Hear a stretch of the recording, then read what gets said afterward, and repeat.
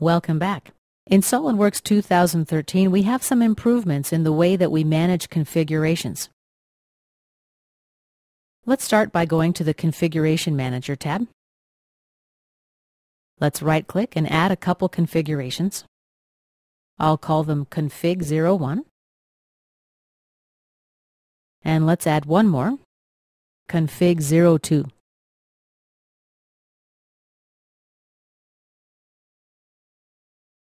OK. The Advanced Options area has a new option.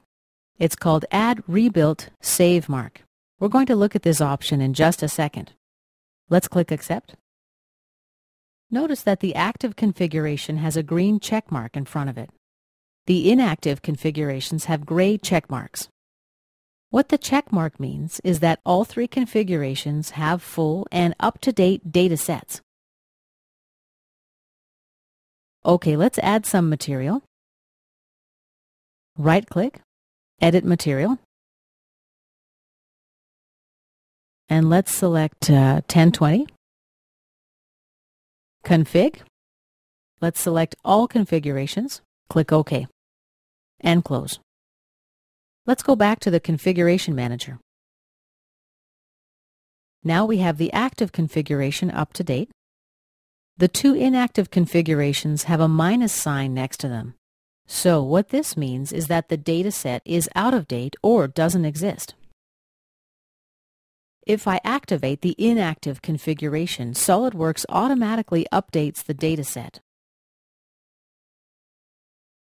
The green checkmark indicates that the dataset is current. So how this all works and what the point of it is this. When you generate the dataset and save the file, the file size increases. On the positive side, it's faster to switch between configurations when all the datasets are up to date.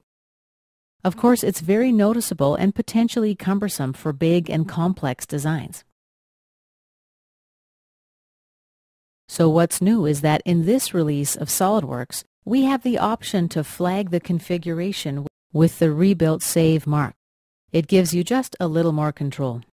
Let's right-click, select Add Rebuild Save Mark.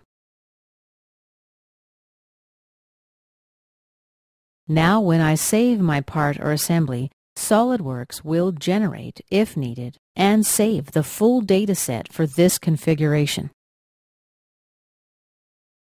Let's click on Save.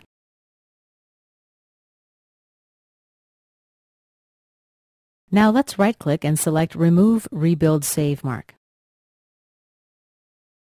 The check mark tells us that the data is up to date for this configuration.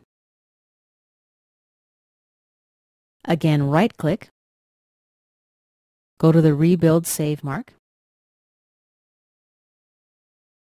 Here we have four options.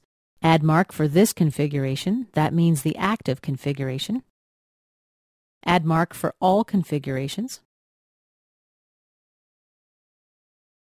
Add mark for specific configurations. And in this case, you select and add the mark to the appropriate configurations. And lastly, remove mark and purge data for all configurations.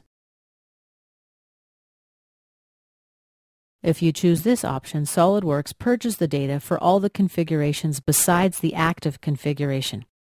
Let's go to Options, System Options tab, Performance Branch. Here we have the option to purge cached configuration data. Let's click OK. Every time you save now, SOLIDWORKS will purge the data for every configuration besides the active one and the configurations that have been flagged with the Rebuild Save mark. One final note, if you plan to open your file in SOLIDWORKS 2012 Service Pack 5, the full dataset must exist for all configurations you intend to use. And this concludes our tutorial about improvements to the management of configurations in SOLIDWORKS 2013.